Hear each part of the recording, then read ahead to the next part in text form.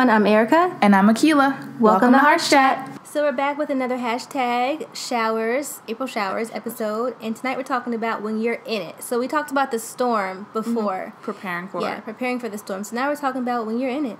Yeah. So that's perfect. That's- we need to talk about that, okay? it's so true. So, Erica, Yes, how have you been? girl, it's the same. it's pretty much the same. Um, I don't know. I feel like I need this today. I, I need this episode. Mm-hmm. So yeah, I'm here for it. How are you? Um, pretty good. Mm-hmm. I don't have any complaints, you know. Just doing adult things like, you know, paying bills, Yeah.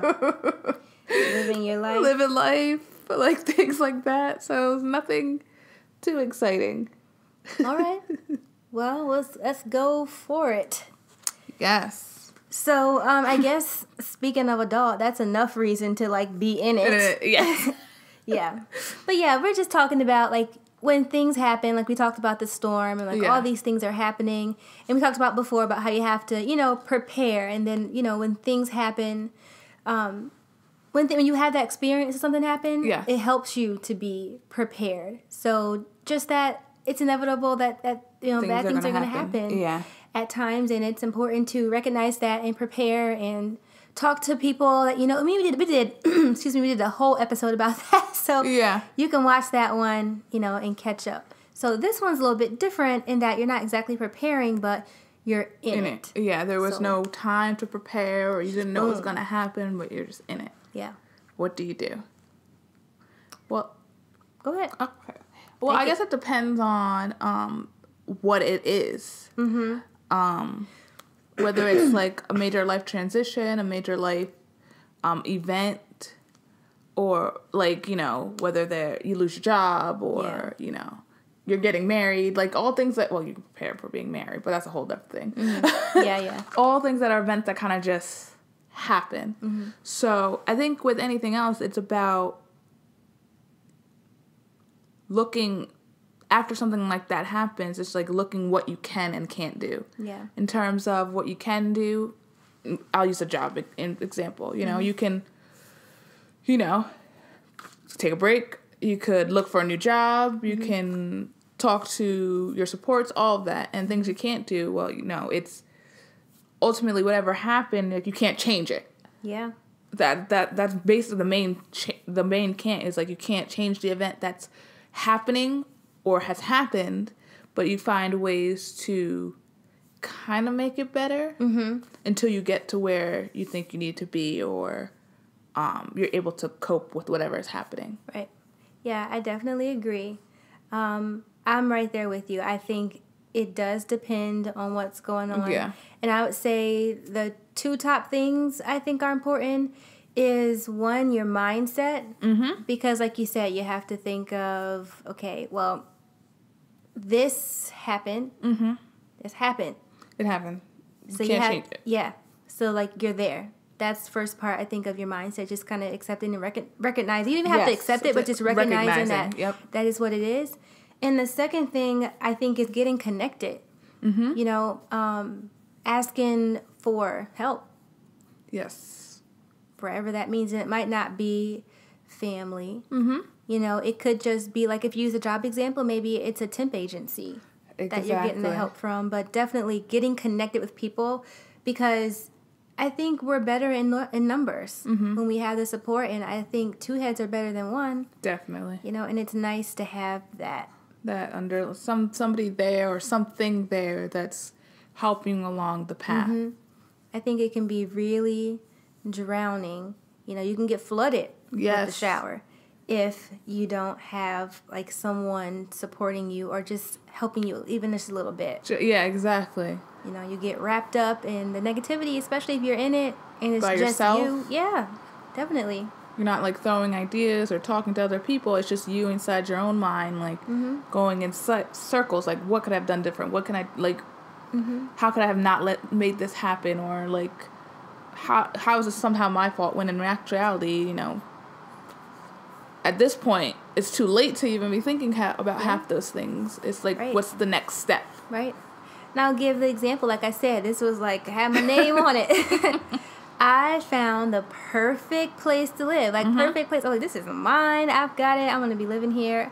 You know, I'm like, oh, this is my place. I know the address already. Like, I was picturing how I'm gonna decorate everything. Like, you couldn't tell me this was not my place. And um, when I got that email that somebody else got it, I was like, what? Yeah. This is not happening. not happening. And I was sitting there. I wanted to. I wanted to go home. I was like, okay, I need to pack up my stuff and go because I'm about to cry. Yeah, I'm at work. I was at work. Like, uh, uh So I said, okay. So I texted. You know, like my mom and my sisters. Like, you know, people are important to me. Whatever. I text you. I told you about it. I was waiting So- for it. Yeah, I texted my, my people, my support, Yeah. told them what's going on, and like two minutes, I didn't, I didn't cry at that time. I didn't. I cried. I didn't even cry that same day. I Yeah. cried the next day. The next day So- after it settled. yeah, it was a lot of things. Um, but I that's when I saw the email. Like two minutes later, I got online, was looking at more places, and had another appointment for the next day. Because I'm Yes. like, you know what, this is what it is. Okay, wasn't meant to be. And granted, it's maybe it's not as extreme as someone losing their job. Yes. but it's just an example. Um, you know, I said that this is what it is. It's something I really wanted. Yes, it was upsetting and frustrating, you know, because I've been looking for a while. Yes. But you have to move to the next thing. And it was really, really helpful to reach out to people because my sister started looking and started Yeah. sending me places. My mom, and she, they have been, my mom has You're been doing- yeah. sending me places. And um, I depended a little bit more on the realtor too Yeah. because So it's not always on so much pressure on you. yeah, and I, I do take on that. I'm like, Mm-hmm. I gotta do this, I gotta do that, I got it. I don't need her to find me, you know. I do, and I was like, I need some help, So- and that felt good. And the other thing that felt really good was that I didn't ask my mom or my sisters, you know, to do that. Yeah. They just started doing it. Doing it. hmm Yeah, and they was like, oh, send me places and stuff, you know, we'll help you out, and that's it made me feel good. Mm-hmm. And I think it shortens the time that you spend, like, oh my gosh, why don't I have this? Why didn't this work out? Yes. You know, this is so bad. It's like you got to keep going. So that's just my little small example.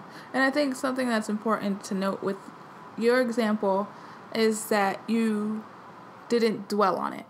Like you got angry, well, maybe not angry, but you got upset. Maybe you did. I wasn't angry. like you got, you know, you got upset. You Yeah.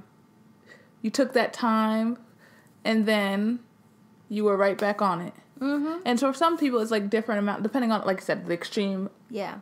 of it. But you know, I think it's important to note that you know it, it's okay to get angry about things, mad, mm-hmm. upset, and it's just about the how long we dwell on them, and not and that dwelling leading us not to put in action to make it better. Right. And that's one question I always ask myself.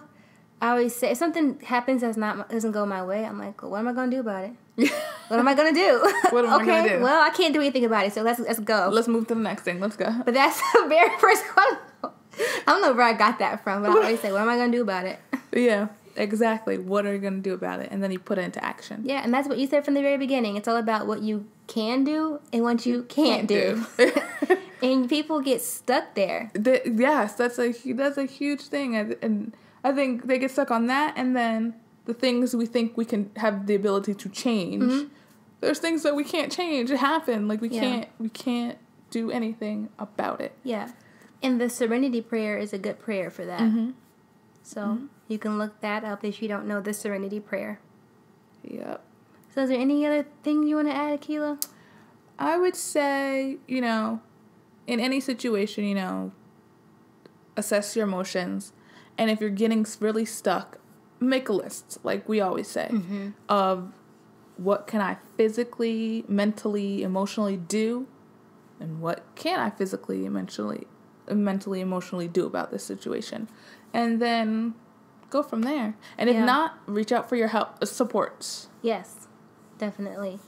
Um, I would say comfort too, because I did go across the street and get myself a frosty from Wendy's. You and your frosties. I hadn't. Well, I always get vanilla. I hadn't had a chocolate frosty in years. Oh my I was God. talking to Ashley. She was like, "Get you a chocolate one." I was like, "You know what? I haven't had one of those in a long time." So I did. I did that. That's and not, awesome. that's within like normal limits. Not saying go out there and eat a whole tub of ice cream or Yeah. anything like that. But sometimes you need like a little pick me up. Yeah. I agree. I agree. I think that's very good.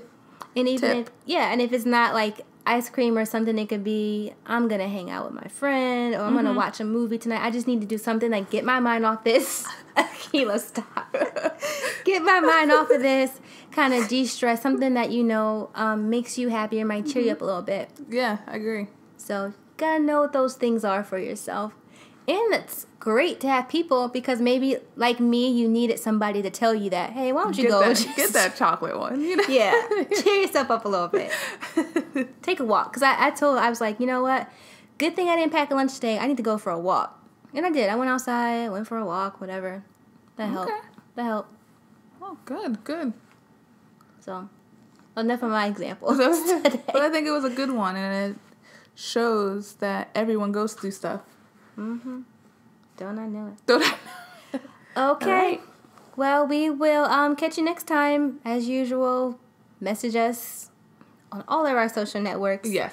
Email us. Let us know what topics you want to hear about. And, you know, comment below if you have comments about our episode today or any questions that you want to ask us. All right. Okay. Bye. Thank you so much for listening to Hearts Chat today, where we speak from the heart. We hope that you enjoyed our show. Catch us every Sunday and Tuesday at 7 p.m. Eastern Standard Time on our YouTube channel and on our website, which is heartschatradioshow.com. Be sure to follow us on our social media pages at Hearts Chat Radio on Instagram and at Hearts Chat on Twitter, Facebook, and Periscope.